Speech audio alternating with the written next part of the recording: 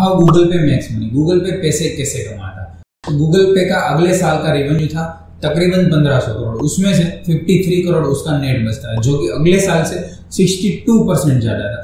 तो गूगल पे पैसा कमा, कहाँ से कमाता है? उसमें UPI transaction and bank linking तो फ्री है तो पैसा आता कहाँ से?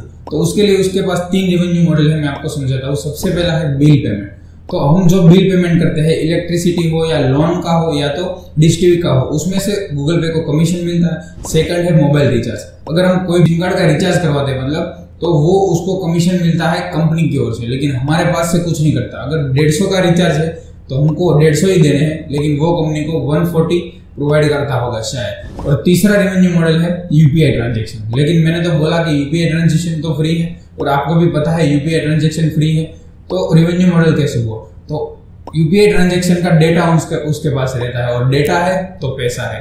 कैसा लगा यह वीडियो कमेंट करके ज़रूर बताना।